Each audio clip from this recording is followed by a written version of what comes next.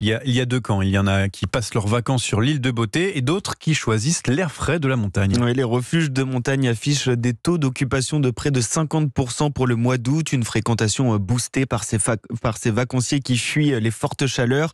Dans les départements de la Savoie et du Mont Blanc notamment, la saison estivale est très satisfaisante. Margot Faudéré a rencontré un groupe de randonneurs au départ de la compagnie des guides de Chamonix. J'espère que vous êtes équipés en veste de pluie.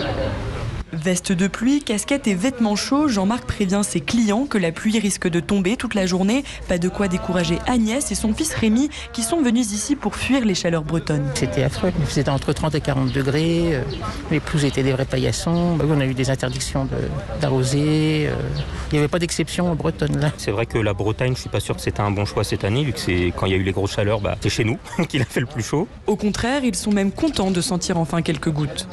Qu'est-ce que vous faites là? Bah Là, je mets un sursac euh, étanche en cas de pluie. Finalement, on se dit qu'on est bien arrivé la bonne semaine et que le fait que la pluie rafraîchisse un peu l'atmosphère, c'est pas plus mal. Donc au contraire, et puis euh, en général, quand on commence à marcher, on se réchauffe. Agnès et Rémi ne sont pas les seuls à s'être rués vers la montagne cet été à cause de la canicule. Jean-Marc, leur guide pour la journée, constate un afflux important de randonneurs depuis juin. On déserte le bord de mer parce qu'on a peur d'être accablé par, par cette canicule. En montagne, on sait qu'on aura un peu plus de fraîcheur, compte tenu du fait que chaque 100 mètres de dénivelé, on perd euh, quelques degrés. En août, les gîtes de France en Affiche même un taux d'occupation de 95%. Le reportage de Margot Faudéré pour Europe